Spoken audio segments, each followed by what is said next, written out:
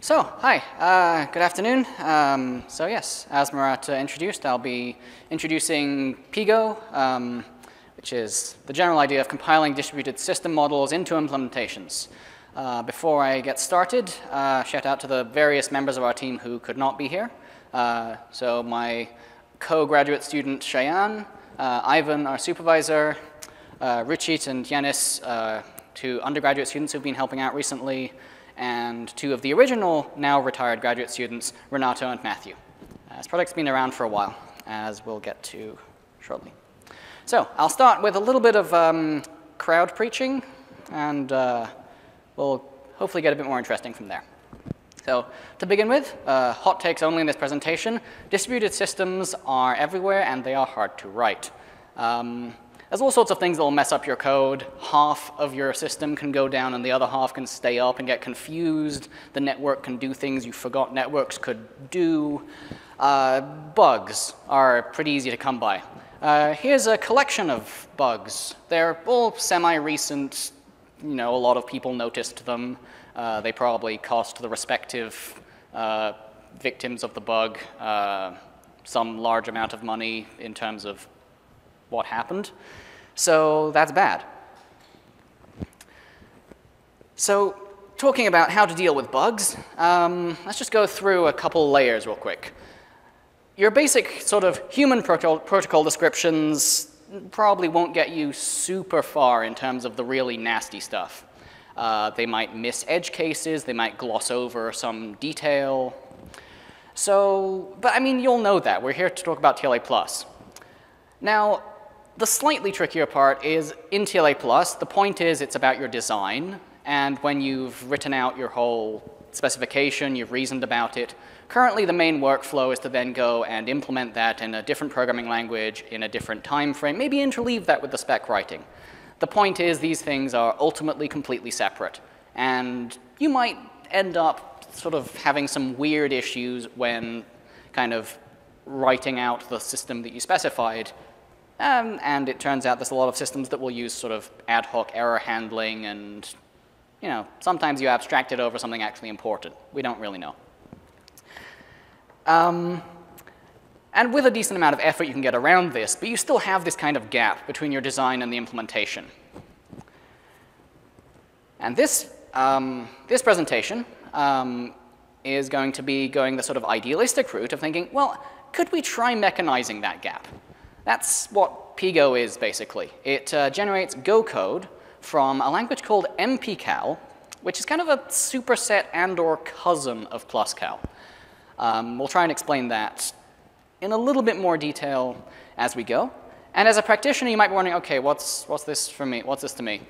Um, so PGo can help with a few things. Just want to lay out some of the slightly less obvious ones, maybe.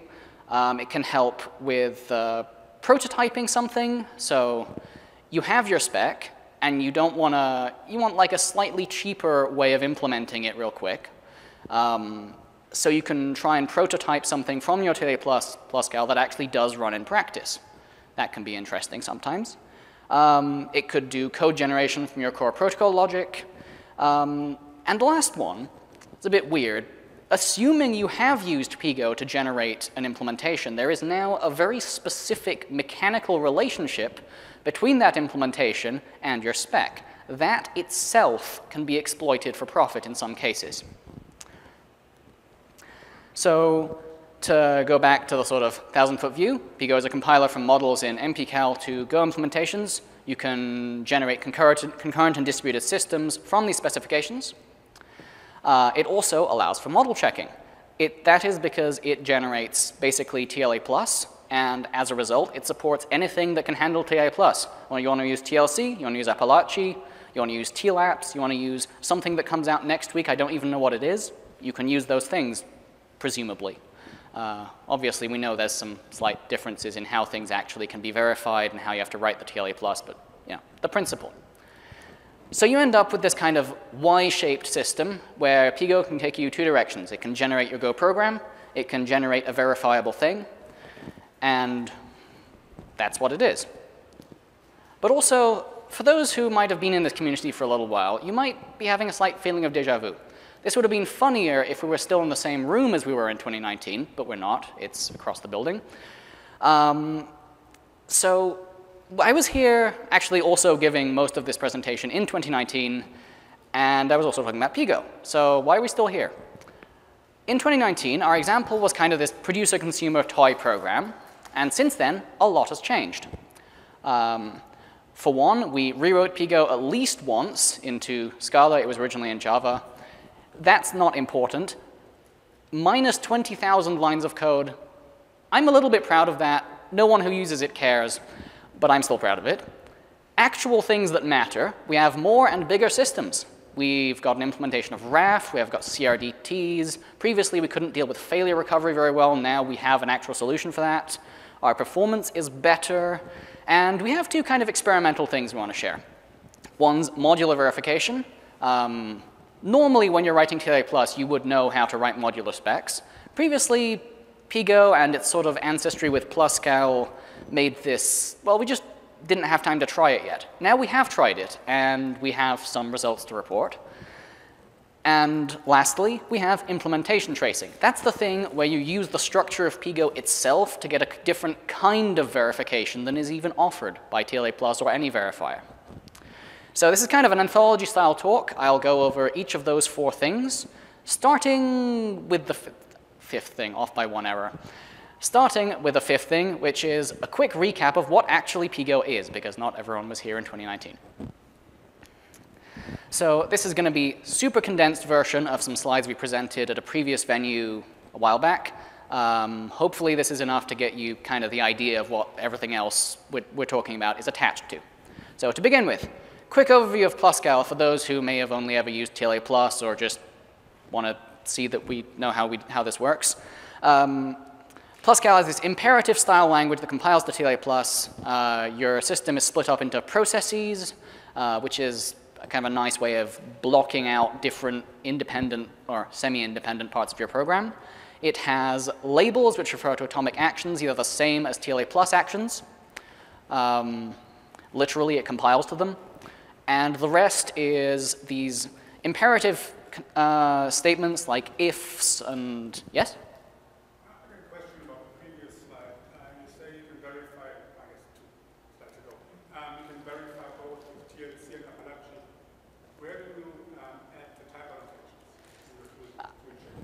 Um, I guess I should add in principle because we don't. Uh, if someone wants to actually use us, use our tool like that, uh, send us an issue and we'll look into adding that. Because we, of course, control the code generation, it is possible. Anyway, good catch. So, kind of back to the pluscal thing, there wasn't much more to say on this slide. Uh, we ha you have the imperative features and the expressions are TLA plus and it can interact with surrounding TLA plus code. Now, our language is modular Pluscal, which is not exactly Pluscal, and there are reasons for this. Essentially, trying to automatically translate TLA plus and Pluscal directly is impractical at best. You get this kind of mix of things only the model checker should care about and actually important protocol code. I'll illustrate this properly on the following slide. So our, our approach is kind of this new language that adds stuff, mostly, to Pluscal. Now, to look at this problem, let's have a look at a network read operation. Yes, you can hide this with a macro. No, it doesn't really matter because the macro is still kind of just pasting code there. The point is, this is using a global variable with a sequence in it, and it's just doing a bunch of sequence operations. I mean, that's fine for the model checker, but it, almost all of this is for the model checker. If you were to try and actually implement this, you would want to, I don't know, call out to the OS or some standard library thing. And that's, if you're a machine, you have no idea how to do that based on looking at the code. So we need to help the, um, we need to help the machine out a little bit. Essentially, yeah, I already said that part, sorry. So what we've added is a kind of macro thing. Now, don't pay too much attention to the word macro exactly. Uh, it's kind of more of a historical term. These things are hygienic. Do not think about C macros. Um, but we have added this thing called an archetype. And it's parameterized by abstract things that you can read from and write to. Uh, this is basically just dependency injection, right? And now, what was previously a bunch of sequence operations becomes just a read, which is pretty nice, because now we know that all those sequence operations didn't matter because they're not there. You can now compile this to more or less the code below, and you can actually call out properly to something that actually does a network read at runtime. This is kind of important. And you can just keep doing this. You can add more parameters. You can make them more complex. You can make them do things that aren't networks. It doesn't matter. Our, our tool doesn't actually understand what the network is. It just understands how to reason about dependencies and substitutions. So if you were wondering where the sequence manipulation went, it went right here. You have uh, this thing called a mapping macro, which just defines what the read and write operations are in terms of dollar variable, dollar value, these little placeholders that we add. So what's going to happen then is you're able to weave this back into the code and get the thing you'll be verifying, which still works exactly the same as the original PlusCal. Important thing to note, there is no overhead in verification. It doesn't make verification harder somehow. It'll generate mostly PlusCal-ish code as a result. Uh, it might look slightly uglier than handwritten code, but not importantly. And so, to finish our lightning overview, uh, we've got sorry, archetypes. Uh, so you can define these things which take dependencies and have much stricter scoping than PlusCal processes. You can explain what the things, what these dependencies actually do, and you can bind the two together um, with this thing called an instantiation. And we just added these syntaxes to PlusCal more or less, and that's how you get modular PlusCal. Now, the, the rest of the problem is, as I mentioned, PGo doesn't really understand any of this. It just knows that you're talking about substitutions and dependencies and stuff. And at runtime, or you know, in, at implementation time, what you want to do is to give this meanings that are non-trivial in terms of, well, you want to call out to the network stack, you want to manipulate such and such. You want to do things in ways that are specific and practical that you wouldn't reasonably uh, expect to be in the model at all. So we have basically an implementation contract for these dependencies. We want to support things that are pretty diverse. For example, we're not going to force you to use locks or to not use locks or to use any particular implementation primitives. You can do more or less what you want in this implementation, and that's important because different things work differently. A network write, where's the lock? Versus if this is some actual atomic variable, well, then you, obviously you'll have your own way of dealing with that. Yes? So how do invariants work with this? Because you have this abstraction of network that has reads and writes. Uh-huh. If you want to reason about it, you need to sort of glance at the current state. Correct. And basically, you write the invariants and the properties in terms of the generated TLA plus, like in PlusCal. And yeah, you just do it. So um, the, the properties don't see this division we've created. Um, it's only the, um, it's only in terms of like the actual logic. Yeah, good question, thank you. Um, so basically we have the Go, we've, got, we've made this Go API, which I will gloss over, and a state machine, which I will briefly explain. And otherwise, we have like a super simple bug-averse compilation process to try and avoid doing anything fancy, really, when we don't need to. So first, I'm just going to talk about the easy part. We have essentially a one-to-one -one compilation for individual expressions and statements. Um, so we've got above a simple statement in MPCal, and below we have pretty much the actual generated code for this statement, give or take minor context. So the self expression just maps to a particular interface call. The general read to network maps to a couple of statements because that's how Go is. You have to write extra statements for the error handling. And then writing to the message, again, just maps to another couple of cookie cutter statements. All of this is pretty easy to deal with and pushes a lot of things into a runtime library, which also handles things pretty naively and simply in a lot of ways, except for the elephant in the room, which is what about all that I.O. stuff we were just talking about? And I'm going to have a, to jump us to a bit of a bigger example. You could do a single statement and actually look at the generated code for the other, for the other case. But now we don't care about single statements. We've solved that. It's done. It's not even that hard. The problem is what about actual interactions? So here we have a still somewhat simplified pair of archetypes. You've got a client and a server. The client makes some request. Uh, the server receives the request, sends a response, and the client reads the response. You've got four actions in total, uh, which could be running concurrently or across different machines or what have you. In fact, the relationship between the actions in terms of what I care about, which is why I'm not going to explain all the specifics of the individual statements, is you have make request, read message, send page, receive response, all just in this little circular graph. And our problem is these actions either happen or don't. There is no in between. Usually, when you're programming, you'll find that you can stop almost wherever. There's, the concept of atomicity is relative at best. So, and also, even if you've got atomicity to work for things like local variables, I.O. interactions usually tell, tell you immediately when something has been rolled back or something. You'll see duplicate requests or something. If you did this naively, it would be an utter mess.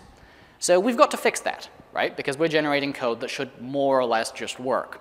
Notice also that in more complex models, you can have either or, which just means do this or that. Which one? I don't know. Uh, might be either one's okay, might be only one will work. You have to deal with that too in an implementation. And so essentially, we figured out that you have to perform a local consensus step with all the I.O. resources that you've plugged in as dependencies to figure out, is it acceptable for this step to happen? Notice that these steps could be happening concurrently, they could be happening on different machines. There is all sorts of custom logic you need to figure out whether the step should be happening or not. That is left to the implementations of each specific thing, which may be varyingly complex. So overall, a single step will work kind of like this. You execute each of the statements just one by one. Uh, if you hit an either, you flip a coin and see which way you're going to try and go, because you have the superpower of being, being able to unhappen events. If something, if you picked a path that was just unacceptable, you can just decide it didn't happen. Then, if everything has worked out and you're at the end of all the statements in your little block, you'll say, you'll try to pre-commit. This is like two-phase commit, if you know that. Um, and you check with all the resources locally, is this okay? Is it acceptable to say this has happened? If so, you commit and everything properly happens, like things might go out over the network, things might get checked off in some kind of mask or whatever. However you've implemented may be happening and then definitely happening, which may vary. Otherwise, you abort and you go back to the beginning, you throw out all your local state, and you try again. Maybe you'll flip your coin differently, maybe something in the world will have changed that makes your thing possible. Maybe it's okay that you're stuck forever never getting anything done. Maybe that's what your model actually says. In terms of correctly compiling it, that's all you really need to worry about.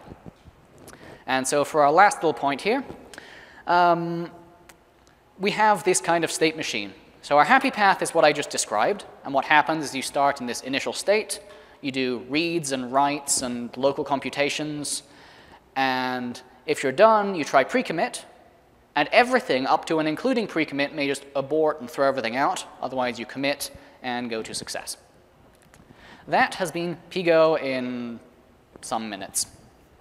Now I will talk about all, yes? Go on. Unless you have it on later slides. Uh, what's your trusted code base, the size of it? Um, okay, let's see, do I remember this? Ballpark. Um, so we, I don't have this on extra slides, we were just sort of glossing over that point. But yes, our trusted code base is a few thousand lines of Scala for the actual compiler. Mm -hmm. It still has to do work, even if it's architecturally quite simple. And then we have maybe 10,000 lines of Go for all of our our actual core Go code, Go code base isn't that big, but we have a lot of little plugins that are pre-made for various common situations which kind of inflate the size, and some of them, you know, are legitimately a bit complex to write. Follow-up question, could you ge then generate the Go code with PGo? Uh, that, is that is the modular verification point. Yes, because previously we hadn't done that, and now we've thought of it and actually tried it. So, good point. But first, our bigger, better systems. Now, for those of you who work in like production and stuff, maybe this isn't super impressive, but this is still like a big protocol, and we think it's a huge step up from our original toy example. So just a quick example to flash some various things we won't talk about so, so much, and what we will talk about. So we've got a Raft-based key value store. Um, think etcd or other comparable systems that have like a consensus and keys and values. Um, we also have a kind of non-monolithic version of the same system to showcase this modularity thing Markus asked about. Um, and we won't talk about these further, but we have them. We have kind of a primary backup key value store also, different architecture. We have a distributed lock service as kind of a simpler thing one of our interns did. And we have uh, an eventually consistent distributed set, just to show that all of our implementations don't have to be these like high consistency traditional systems. You can do other stuff too. Uh, so we made this, that one to prove that this was also the case. Now, more about our key value store. It supports get and put. Um, it's all in Go. Might be interesting to some of you. The client library is also partially generated code. Um, so it's not like it has a REST API exactly, but um, basically the whole thing just slots together. We've model checked it in TLC with safety and liveness properties for some moderate number of operations. It is also resilient to server failures. So you can set up a cluster, take, take nodes down, and that actually is supported. Previously, this was something we weren't sure how to do, and now we have a method for it. Um, the method isn't in the slides, so ask me over coffee if you're really interested. Um, it's about 930 lines of MPCal, seven archetypes, and took about 22 person days of dev time to sort of put it all together and tune it and so forth. It's based on uh, the original TLA Plus spec uh, that came with the uh, original Raft paper, but we edited it a lot. Also, we found it runs faster than other Spectacode solutions we tested, uh, all three of them. And here's a quick snapshot of that. We have more graphs, more numbers, and more details in our in-progress paper. Uh, so ask about that. I will be skipping over all sorts of experimental details here. The point is, uh, this is for different cluster sizes, several reasonable cluster sizes, three through nine odd numbers. Uh, we're measuring throughput, so higher is better here. And in this case, you'll notice that um, PGo Raft KV, which is our Raft KV store, does uh, noticeably better than the equivalent in Ivy, uh, the Iron KV implementation, and the Verdi implementation, which are all different things that I believe came up earlier this morning. Uh, different implementations with completely different affordances. Iron KV is in Dafny, Verdi is a Coq-based thing, and Ivy is another SMT-based thing that came up uh, multiple times, I believe, uh, in previous presentations. You'll also notice we have PGo Raft KV mod, which interestingly enough does worse than our other Raft KV. We're not entirely sure why. It could be that we had, didn't have as much time to spend tuning it, but we're putting in that in there for transparency. Notice lastly that we left out etcd from this because it would make all the other bars really tiny. Um, its worst score is five times the best bar actually on this chart. So that goes to show that Spectacode isn't like unicorns and rainbows, but still, we're improving, um, and hopefully we can do better over time. Yes? So, um, for example, why is um, Iron KV why is Iron KV doing worse? This is throughput, so is this uh, trying to, when it's generated from spec, is this trying to um, serialize too much, uh, uh, managing the throughput? Where, where, where, where does the bottleneck come? Um, so we're not going to have 100% clear answers on this. Um, in terms of Iron KV, it seems there's some overheads in terms of how the runtime is managed. Also, um, the um, PGo's generated code is a lot more parallelizable by default, uh, given its sort of actor-ish model than Dafny's, which is more of a kind of event loop. So there's possibly some side effects from that. It might simply be that we're just using CPU cores a little bit better. Certainly our single-threaded performance is completely unoptimized, so it would be very surprising if that was actually better. I see. So, and the mod, PGo Raft KV mod, what is the difference from the PGo Raft KV? Um, it's two different specs plugged into each other. I'll be talking about it more. Modular, mod for modular. okay. Yes, yes. Uh, I'll be getting back to that in uh, an immediately following section. But uh, in any case, thank you for the questions. And also, um, just to show that we actually have tried this and we've got data on it, uh, we tried some failure recovery experiments. So we have a cluster of, I think, five nodes uh, running uh, some workload, and we kill the leader at about 20 odd seconds. You notice the complete, the massive drop in throughput. That's because Raft is leader based, and if the leader is dead, nothing can happen. So it quickly re-elects another leader and carries on. And then at about 40, we kill a follower, and it causes a minor fluctuation due to some of the error, error tolerance stuff. But it just goes to show that, yes, our error, error tolerance, it's based on um, failure detectors, and it does work in practice on the same, similar workloads to the ones in the previous graph. Um, now, before we get to the modular part, I'll talk a little bit more about performance.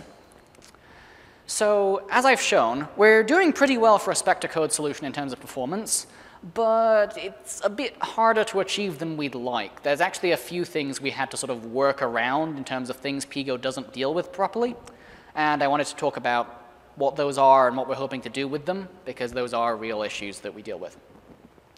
So the first issue is going to be handling non-determinism. Our solution is correct but not helpful. We had to go out of our way to remove several either statements from our code because it was causing performance problems. So just to illustrate the problem, imagine this kind of situation. So you have either read from channel A or read from channel B. And imagine there's a message on channel A. And remember, I said that our handling of eithers is a coin toss combined with the ability to unhappen a wrong guess. So what's going to happen here is, let's say you get unlucky and you pick channel B when there's a message on channel A. Okay, channel B is empty. So its implementation might have a little grace period to avoid spin waiting on things. And it'll wait X milliseconds, just real quick, to see if anything happens on channel B. And then it might give up, go, oh, maybe it's the other branch. Pop message from A, actually do something important. We just wasted X milliseconds, and it gets worse the wider your either branch is. So we're not happy about this, and we're hoping to fix it. That will be in two slides. First, I will talk about the other issue that uh, we're dealing with, which is again just the same flavor of functional but not ideal. So imagine you have two actions, one with an await for something like x equals 3, and then another action that actually sets x, x to 3. And imagine that these are running independently on different threads, different machines. I don't know exactly how x would be implemented, but it doesn't matter. If you have a way to immediately check what the value of x is, action A will end up reading x, noticing that, say, it isn't 3 yet, and immediately looping back to the beginning and looking at x and just spinning on that. And you end up creating this kind of spin loop. These are not the worst thing. Spin loops work even when they're completely inappropriate but also they waste a lot of CPU cycles and might trick the scheduler into thinking something's happening when it should just go schedule action B and set X to 3 already. So it's going to waste CPU cycles, can cause starvations, not ideal.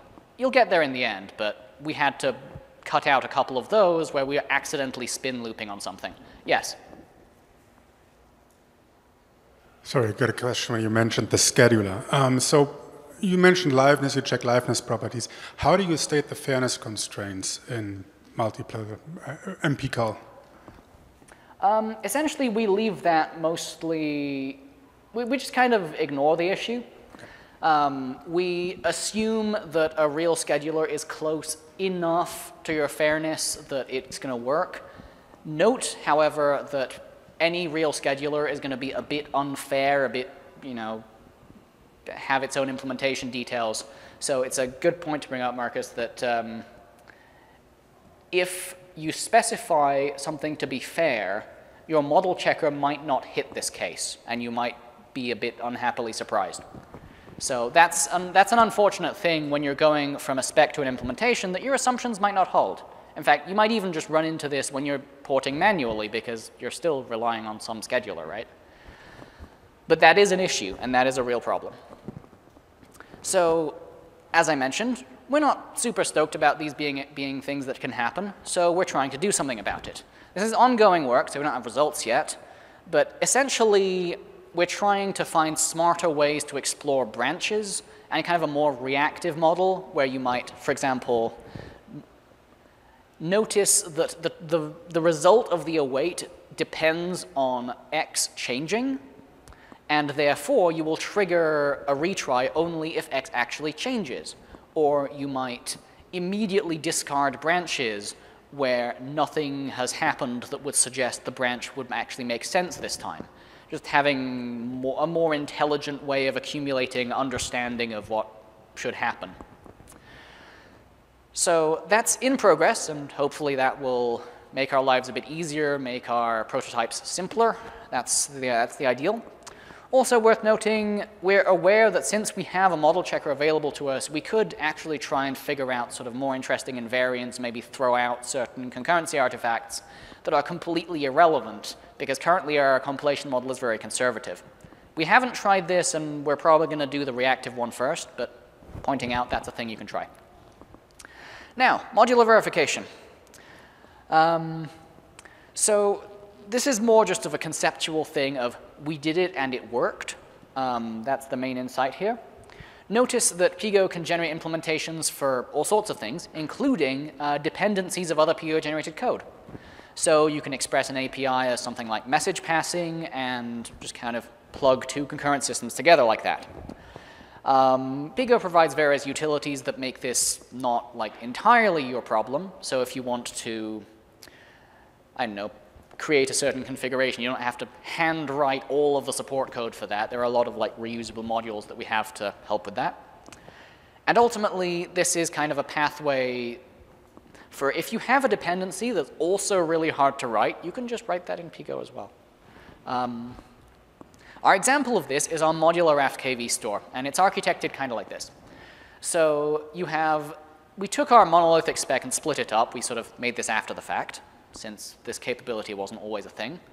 Um, and we split it into two parts, the Raft protocol itself and the KV store. And each one interacts with, this is giving me callbacks to one of the previous presentations as well, um, kind of this stubbed out version of each other, respectively. So the KV store has this ultra simplified general idea of a consensus protocol, and the, the, Raft protocol has this general idea of requests.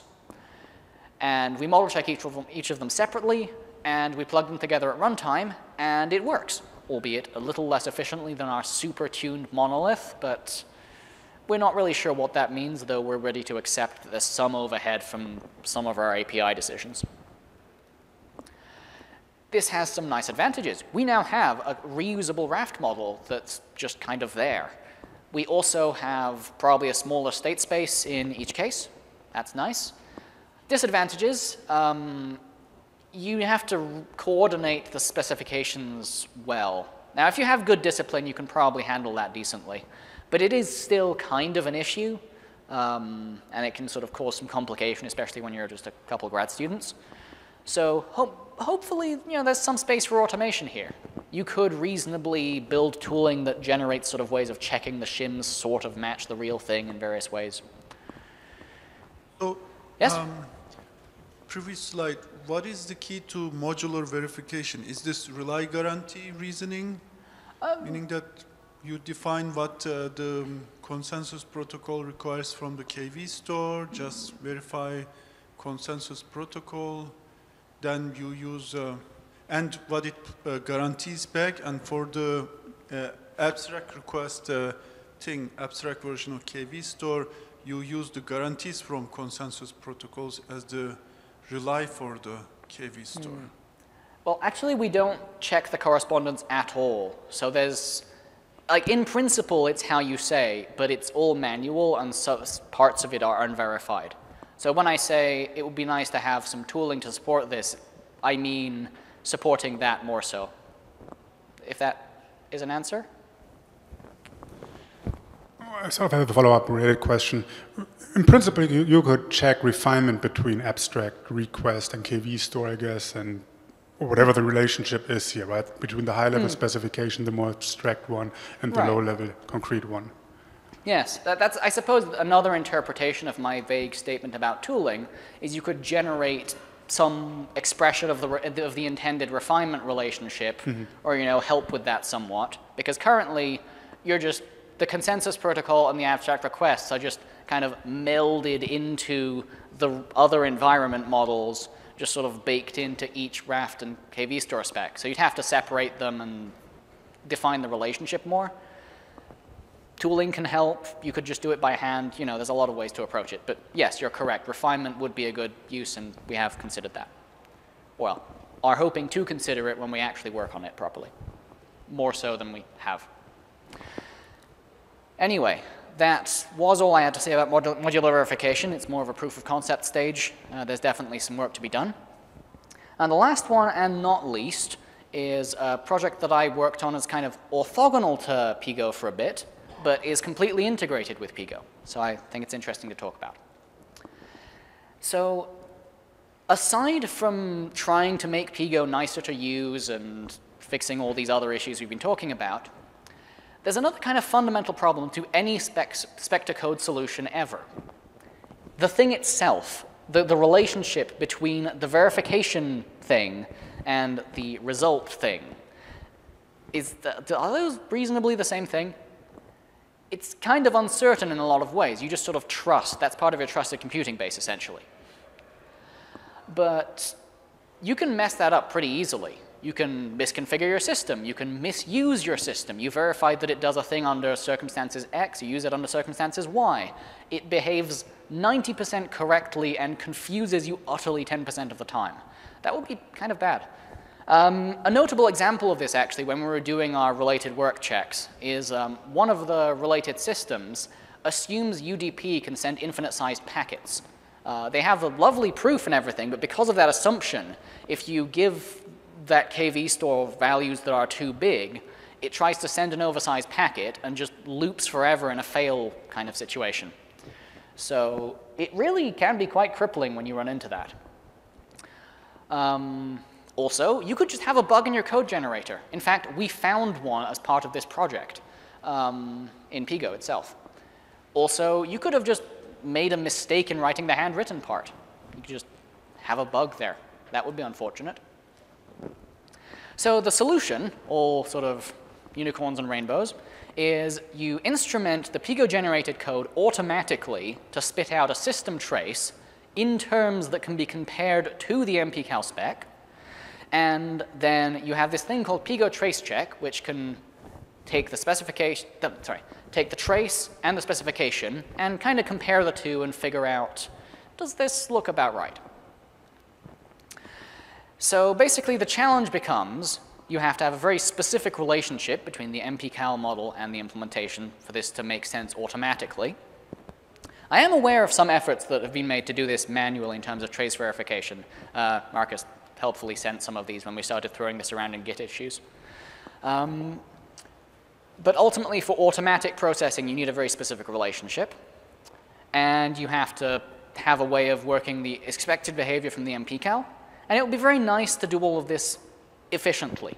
Now, I'll add a little asterisk to the efficiently part, because this is part of like a my opinion thing rather than an objective truth thing. You could feed this to a particularly configured TLC and get a halfway decent result. The reason I ended up not doing this is because I have this pipe dream of having a runtime monitor that can just like nom the trace as it goes and flag you errors if something sketchy happens.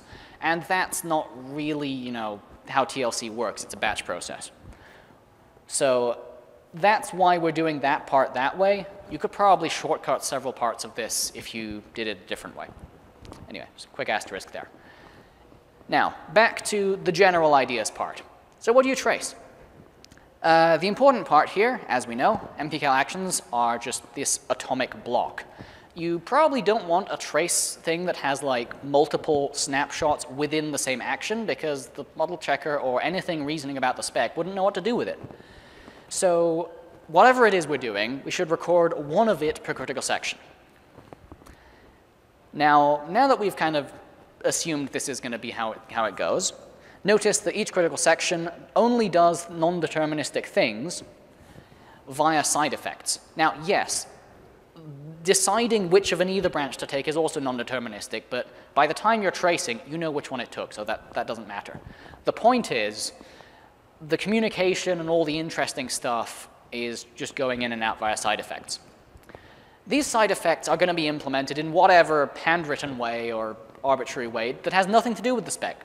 So not only is it hard to trace into, I don't know, the network stack and see when it sends a buffer or something, it's also completely irrelevant. So instead, what you do is you trace what goes in and out of the environment from the point of view of a running archetype. And you end up with these little scriptlet things indicating all these side effects uh, noting that the program counter also kind of counts here. So you'll notice for this little three-line snippet, you have your at read message, so your program, program counter gets read and its read message. You read something from the network, which is some value. In a real version of this, this would be some specific TLA plus value. Something goes into message, same value, presumably. If your thing's implemented correctly, if your compiler has a bug, you might see a different value there. That would be very interesting if that happened and then you write send page to the program counter to indicate that you're done and you're jumping there. And from now on, I will ignore this, but every single box in every single remaining slide will be little things like this. The remaining problem is causality. Because all these implementations are running in concurrent distributed contexts, you really don't know what order all these things are running in reasonably. Like if you have two nodes that are just running concurrently, they're probably running at the same time some percentage of the time anyway. So to try and build a complete order is an effort in madness. If you tried, you'd have to slow your entire system down, and now you wouldn't be monitoring a production, even plausibly a production system anymore. So instead, let's try to use vector clocks. Um, basically, this gives us a sense of causality. So send comes before receive. Local computation is aside from coming before and after things that have causality, is just kind of happening in some order. It doesn't matter because there's no communication. Also, quick digression for those who don't know what a vector clock is or just need a quick refresher. Um, it basically gives you this happens before causal relation. It's a partial order, and essentially it's just a dictionary mapping names of nodes in the system to incrementing logical clocks like 1, 2, 3, 4, whatever. And you can increment them locally. So if you've done something, you can say like Simon has gone from 3 to 4. Or if you receive information from another, you can merge clocks and then you'll have this monotonic combination property and which where the resulting vector clock has increased somewhat. Also, they can sometimes define no order in particular at all, and then you're just, you don't know, because sometimes things are not comparable, because they're just random local computations that haven't seen anything from each other. So, digression being done, um, let's just look quickly at how this integrates. Um, so going back to our state machine, you can basically plug this into our generated code in a pretty straightforward way. So to begin with, you just trace all the reads and writes as they happen. I, I see you, yes. Sorry, I might go like one minute over because we've had questions in the middle, but I'm almost done. Uh, okay, so basically you can trace all of those. They're all just API calls from the generated code, so there's some nice hooking points already, and that was not hard to implement. And then if everything goes well, you coalesce all your vector clocks from all your resource implementations, and you just serialize out all the tracing information from your individual thing, and you've made one box. And then you just repeat that and use the vector clocks to reassemble later on. Um, of course, you can abort at any stage, at which point you throw out all of the information you logged because it didn't officially happen, because that's how abort works. Okay, real quick then. So you end up then with this jigsaw of causally related blocks um, that's kind of partial and so you have to reassemble various total orders that are all okay because you don't know. And if your causal information is correct, it doesn't matter what order it was. You just have to pick one for verification's sake. Now, I will say, if you were doing this as an exhaustive check, you just pick all the orders and just try your best. However, because of my little runtime uh, inline pipe dream for just reading the thing as it goes, um, I wanted to try and do something a bit more efficient. So we actually have like a little custom module inside PGo that is capable of doing some of this. And basically what it will do is it will pick some order, just using kind of a greedy algorithm, and that order had better be correct. In any case, all the orders have to be correct, so this one had better be correct. Of course, you could luckily pick, the pick an order that makes something look more correct than it really is. Like if you have missing vector clock information, you could accidentally get lucky and jackpot your way to the correct actual order despite the vector clocks not implying it or something. We take that as a limitation, and we have found some real bugs. This is prototype stage, so it has a lot of other limitations. Uh, ask me any questions. But I thought it was a cool idea, and that was my last content slide. Uh, just summarize, MPCal is this thing that separates a system from its environment. You can use it to compile correct distributed systems, we hope, see last section. Uh, our results now improve on the state of the art that we're aware of in the Spectre code uh, sector, and we're actively trying to continue improving it and to try and maybe eventually match production quality code in various ways. All right, thank you. Any questions?